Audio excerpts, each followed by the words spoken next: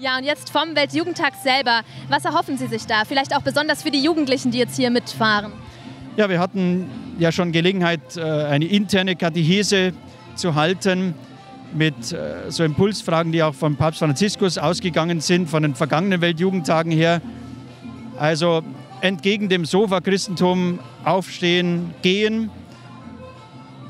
Ein Christ ist nicht einer, der sich zurücklehnt und äh, in den Tag hineinlebt, sondern sie aufbricht im Vertrauen auf den Herrn. Suchen nach dem Weg, den Gott für einen bestimmt hat. Das waren Fragen, die wir sehr intensiv schon diskutiert haben, in Kleingruppen auch, und die jetzt weitergehen und in, den Gottesdienst, in die Gottesdienste mit hineingenommen werden, ins Gebet. Ja, wir schauen, dass wir einerseits das aufnehmen, was uns hier die internationale Kirche bietet und andererseits auch das innerhalb der eigenen Gruppe weiterzugeben.